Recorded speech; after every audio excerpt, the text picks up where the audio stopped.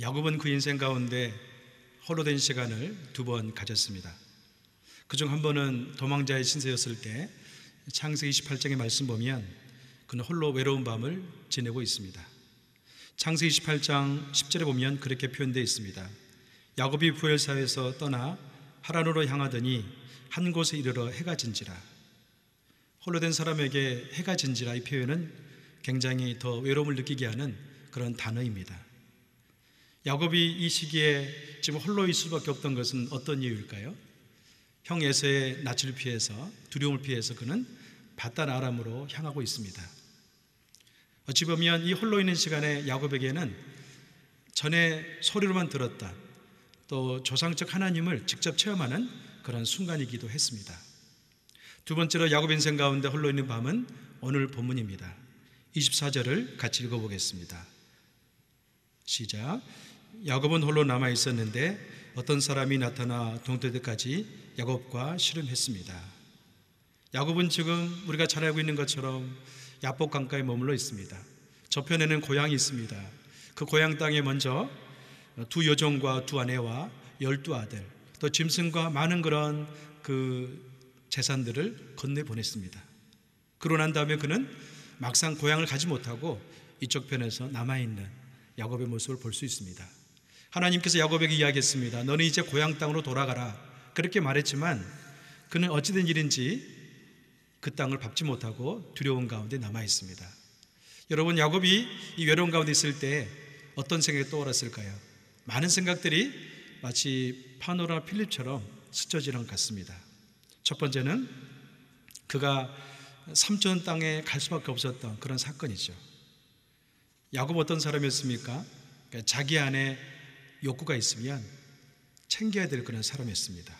그래서 형 에세의 장자권과 또 축복권을 빼앗았습니다. 그런 다음에 그는 스스로 자처한 고립 가운데 빠져들었습니다. 그런 하나님께서 그에게 다시 기회를 주는데요. 그것은 뭐냐면 고향 땅으로 돌아가라. 그렇게 명령했던 거죠. 여러분, 여러분 인생 가운데는 홀로 된 시간을 가져본 적이 있습니까? 홀로 된 시간은 각양에게, 각자에게 다양한 모습으로 나타나고 있습니다. 현대인들은 홀로 된 시간을 굉장히 싫어합니다. 왜 그럴까요?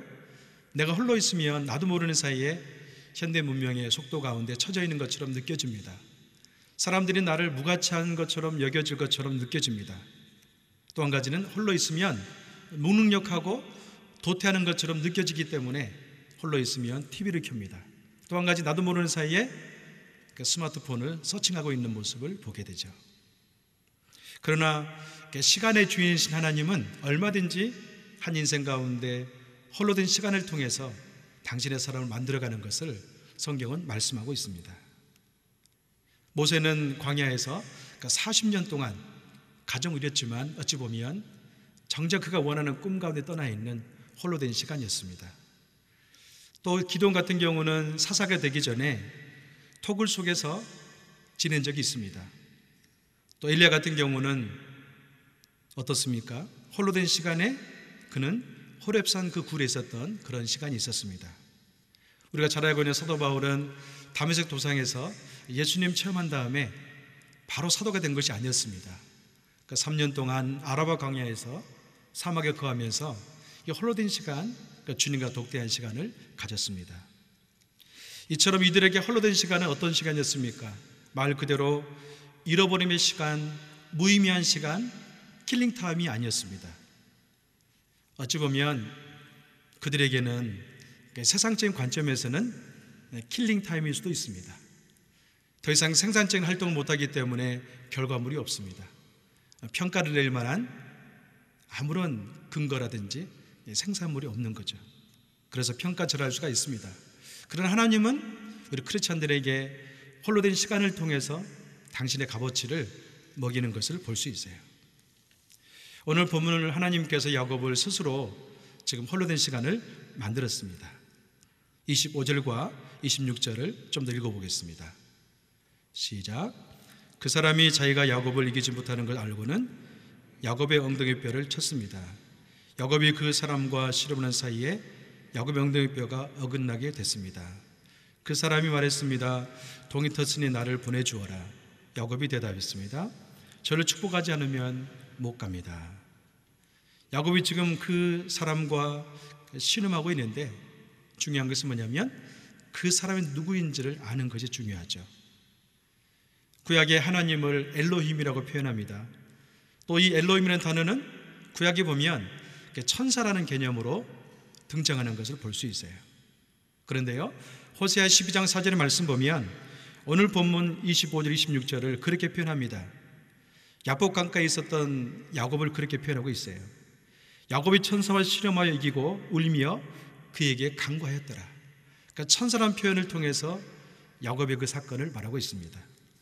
다시 말하면 야곱은 지금 홀로 있는 그 시간에 그 사람과 겨루어 싸우고 있는데요. 바로 그 사람은 하나님이었습니다. 하나님께서 보낸 존재였습니다. 그래서 야곱은 하나님께 지금 절대적으로 의지하고 신앙 안에 기도하고 있는 겁니다. 그렇게 기도합니다. 저를 축복하지 않으면 못 갑니다. 저를 축복해 주십시오. 그렇게 기도하고 있는 것을 보게 돼요. 어떤 성경학자들은 그렇게 말합니다. 여기 26절에 표현되어 있는 저를 축복하지 않으면 않으시면 못 갑니다. 이 표현은 야곱의 그런 평상시의 성격의 일면을 보여주고 있다. 복이라면 좋아했던 야곱. 그러나 중요한 것은 뭐냐면 더 이상 야곱은 사람에게 복을 빼앗는 자가 아니라 하나님에게 구하는 자가 되었다는 게 중요합니다. 그때 하나님께서 야곱에게 또 질문합니다. 27절과 28절 같이 읽겠습니다. 그 사람이 물었습니다. 내 이름이 무엇이냐? 그가 대답했습니다. 야곱입니다. 그 사람이 말했습니다. 이제 내 이름은 더 이상 야곱이 아니라 이스라엘이다. 내가 하나님과 겨루어 사람들과 겨루어 이겼기 때문입니다. 하나님께 야곱에게 묻습니다. 내 이름이 무엇이냐? 야곱이 말합니다. 내 이름은 야곱입니다. 그랬더니 하나님께서 그에게 이야기하죠. 내 이름은 더 이상 야곱이 아니라 이스라엘이다. 그렇게 선포합니다. 우리가 잘 아는 것처럼 사람의 그 이름은 그 사람의 댐댐이 내지는 그 성품 내지는 기질을 이야기합니다. 그 사람의 인격이 그 이름 안에 들어가 있습니다. 여러분, 야곱이란 이름 안에는 어떤 이미지가 있습니까? 먼저 야곱은요, 인간적인 냄새가 다분히 나는 그런 존재였습니다. 자신이 원하는 것이면 어떤 것이든 어떤 방법을 취하든 얻어야만 한 그런 이름이었습니다. 또 어떻습니까? 그 자신이 원한 것이면 다른 사람이 방해할지라도 그 방해를 뛰어넘어서 성취한 그런 사람이었어요. 인정사정 봐지 않고 자기 원하는 걸 얻었던 그런 사람이었죠. 만약에 어떤 가정에 어떤 공동체 안에 야곱처럼 이런 성품을 가지고 있는 인간의 냄새를 가지는 사람이 있다면 어떨까요? 굉장히 피곤하겠죠. 그러니까 피곤할 뿐만 아니라 때로는 금전적인 손해를 볼 수도 있고요. 감정이 메말라서 내가 고갈되어지는 그 사람 때문에 그런 어려움을 겪을 수도 있습니다. 반면에 여기 나와 있는 하나님이 새 이름을 주셨는데 이 이스라엘이라는 이름 어떤 이름입니까? 철저하게 하나님 은혜 안에 있는 이름입니다. 그래서 더 이상 어떤 욕망을 쫓기 위해서 목마른 인생이 아니라 하나님께 공급해 주는 것으로 인하여서 넉넉함을 취할 수 있는 그런 이름이 바로 이스라엘이다. 그 이름이에요. 시편 23편 6절에 보면 이 이스라엘의 그 성품을 잘 나타낼 수 있는 단어가 있습니다. 같이 한번 읽어보겠습니다. 내 평생의 선하심과 인자하심 반드시 나를 따르리니 내가 여호와의 집에 영원히 살리로다. 이 시인이 23편 가운데 그 중요한 그 유명한 시편 가운데 마지막 6절을 보면 내 평생의 선하심과 인자하심이 반드시 나를 따를 것이다. 그래서 여호와의 집에 영원히 거할 것이다. 그렇게 선포합니다. 그런데요, 이 선하심이라는 단어는 토부입니다. 이 토부 사용의 그 용례를 보면 창세기 때 보면 하나님이 천지를 창조하신 다음에 어떻게 표현합니까? 그러니까 심히 좋았더라. 그 용례로 쓰였던 거예요. 다시 말하면 하나님께서 인생 한 사람 한 사람을 보고 심히 좋았더라. 그렇게 말씀하고 있는 거죠. 이스라엘 이름 안에는 이 하나님의 선하심이 담겨져 있습니다. 그래서 하나님이 야곱을 보면서 어떻게 보겠습니까? 그를 사랑하고 지지하고 응원하고 인도하는 의미가 그 안에 있는 것이죠. 하나님께서 야곱에게 홀로 된 시간을 준 것은 분명한 이유가 있었습니다. 왜 그럴까요? 믿음의 족장으로 하나님이 세워야 되는데 야곱이란 그 이름 가지고는 걸맞지 않는 거예요. 그래서 야곱이라는 이름 가지고는 갈 수 없기 때문에 당신의 사람을 만드는 과정 가운데 홀로 있는 시간을 두었습니다. 우리 주변의 사람들을 보면 본의 아니게 홀로 있는 시간을 지내는 분들을 많이 보게 됩니다. 상황에 따라 코로나 때문에 어떤 직장의 길이 막히거나 또 사업이 망하게 되거나 때로 어떤 관계 가운데 더 이상 나가지 못하고 진퇴양난의 그 길, 홀로 있는 그 분들을 많이 보게 돼요. 저는 그럴 때마다 그런 분들을 응원하고 싶습니다. 여러분의 인생 가운데 하나님이 계시다면 그 길은 의미 있는 겁니다. 그렇게 의미를 두고 응원하고 싶습니다. 우리가 잘 아는 고 하영주 목사님께서 젊은 시절에 선교단체에서 캠퍼스 복음화와 민족 복음화 또 세계 선교를 향해서 뛰었습니다. 그런 그가 병원에 입원해 든 순간이 있었습니다. 그때는 폐병을 앓게 됐죠. 그런 그가 이제 인생의 큰 터닝 포인트를 경험하는데 그것은 뭐냐면 젊은 대학생을 섬기던 간사로서가 아니라 목회자의 길에 대한 도전을 받습니다. 그 후에 그는 그 홀로 된 시간을 통해서 사역의 길을 바꾸고 신학교에 가게 됩니다. 그 얼마 후에 그는 신학교를 졸업하고 또 선교사로 나가기 위해서 선교단체에 가서 훈련을 받았습니다. 근데 문제는 몸이 여전히 안 좋은 거예요. 그래서 그 선교단체에서는 그를 파송할 수 없다. 그런 결론을 내립니다. 아주 친했던 한 선교사님, 이지한 선교사님은 감비아로 가게 되고 한 목사님은 다시 돌아오게 되죠. 그때 기도했다고 합니다. 하나님, 한국의 교회가 이렇게 수많이 많은데 교회가 필요합니까? 그때 하나님께서 그에게 마음 주었던 마음 뭐냐면 선교를 위한 교회를 세워라. 그런 메시지를 줬대요.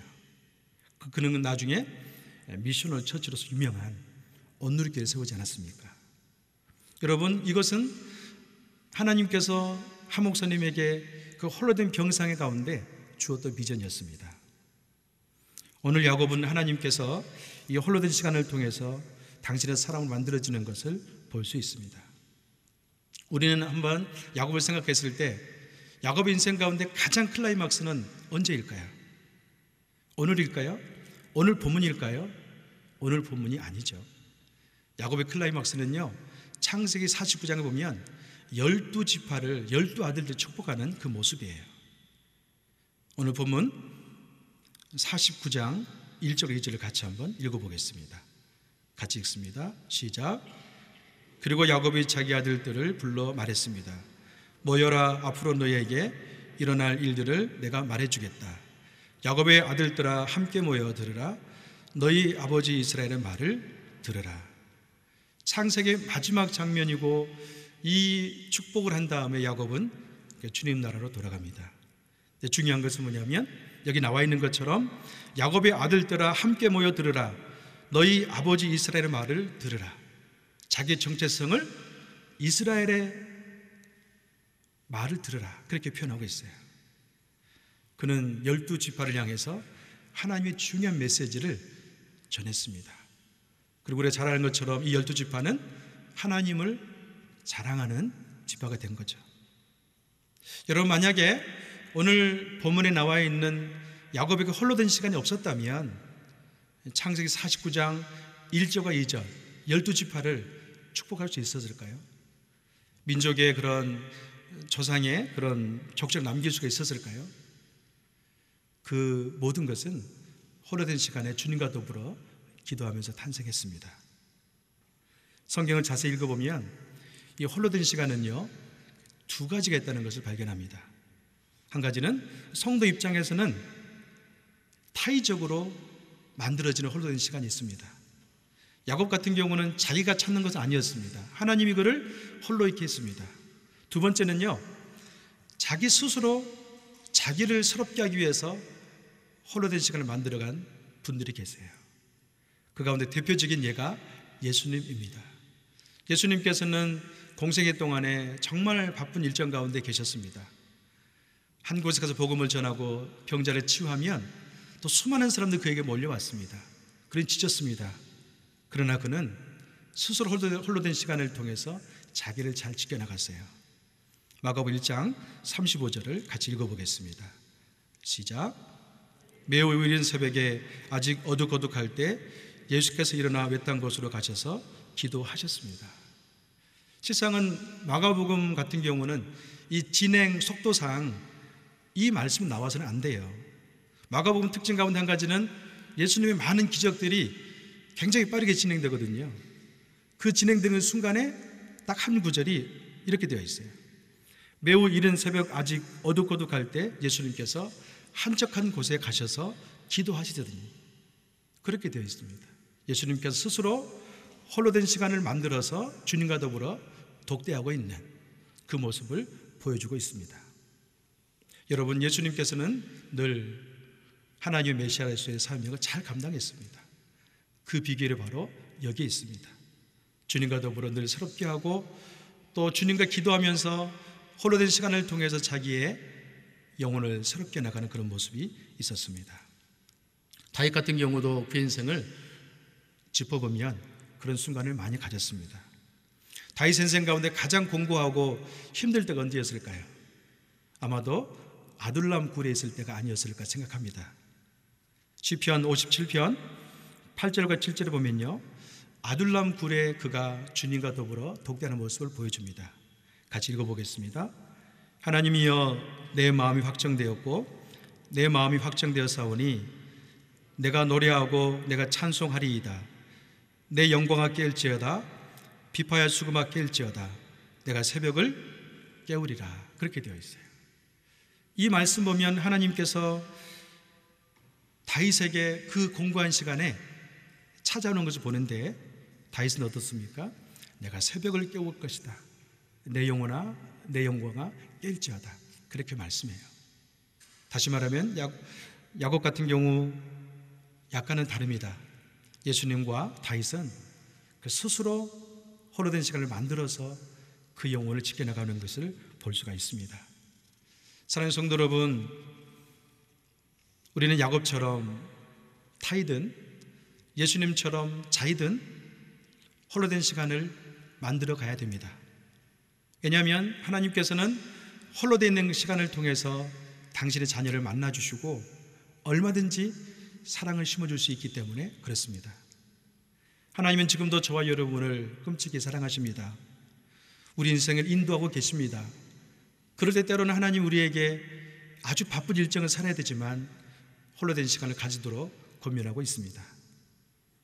가끔 공동체를 섬기다 보면 우리 형제분들이 이렇게 그 직장 일 때문에 많이 바쁘고 지쳐 있는 모습을 보게 됩니다. 때로는 이제 그렇게 상담도 해 오신 분이 계십니다.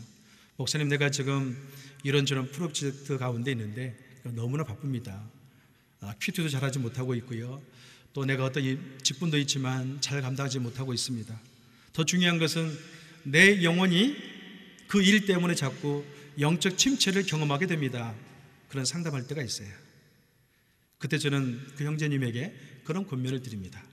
형제님, 많은 시간이 나지 않을지라도 일주일에 한 두 번 정도, 어, 금요일 철학 정도라도 그 주님께 나가서 홀로 된 시간을 가지십시오. 하나님께 나가서 기도하는 그 시간에 현재 한계를 뛰어넘을 수 있는 영적 은혜를 줄 겁니다. 그렇게 고민할 때가 있습니다. 여러분, 현대는 바쁩니다. 바쁘면 곧 우리의 그런 어, 뛰어남과 능력을 자랑할 수 있는 모습이기도 합니다. 그러나 이 바쁨 속에는 함정이 있습니다. 이 바쁨을 따라가다 보면 나도 모르는 사이에 크리스찬으로서의 정체성을 잃어버릴 수가 있습니다. 어찌 보면 홀로라는 단어는 외로움이죠. 그러나 헬리나어에는 이 외로움이 있는 홀로 된 시간을 두 가지로 구분해 줍니다. 첫 번째 홀로 된 시간 가운데 외로움이라는 시간이 있습니다. 이것은 로운입니다. 마을 그대로 홀로 있기 때문에 너무나 외롭고 힘든 시간입니다. 반면에 이 홀로 있는 시간이지만 다른 의미가 있습니다.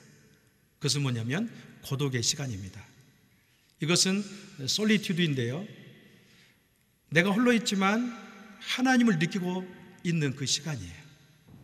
다시 말하면 야곱 같은 경우는 오늘 본문 서두에는 홀로 있는 시간에 외로움의 시간이었습니다. 처절했습니다. 자기 가족들은 다 보냈지만 여기에 남아 있습니다. 얼마나 외롭겠습니까? 때로는 그 과거를 돌아보면서 자책도 했을 겁니다. 그러나 야곱에게 이스라엘이라는 그 계명의 언약 속에 주님 만난 후에 홀로 있는 시간은 외로움이 아니었습니다. 고독의 시간이었습니다. 고독의 시간은 주님이 나와 함께 한다는 의식이 있는 시간입니다. 그렇기 때문에 이 고독의 시간은 창조의 시간이요. 하나님 말씀 안에 나를 만들어 갈 수 있는 그런 시간입니다. 사랑하는 성도 여러분, 여러분 홀로 있을 때 어떤 시간 가운데 거하고 계십니까? 외로움 가운데 있다면 고독 가운데 나갈 수 있는 우리가 되기를 주님의 이름으로 축원합니다. 그것은 내가 주를 만났을 때 말씀 안에 나를 발견했을 때 가능하다고 성경은 이야기하고 있습니다. 우리는 우리 만약 저와 여러분이 주님과 더불어 고독 가운데 가한다면 내일은 우리의 내일은 그 주님과 더불어 승리하는 날로 채워질 겁니다. 주님은 결코 저와 여러분을 홀로 된 시간을 통해서 멸하거나 없게 하지 않습니다. 도리어 야곱이 오늘 본문 가운데 나와 있는 것처럼 홀로 된 시간에 당신 나를 축복하지 않으면 나는 보낼 수 없습니다.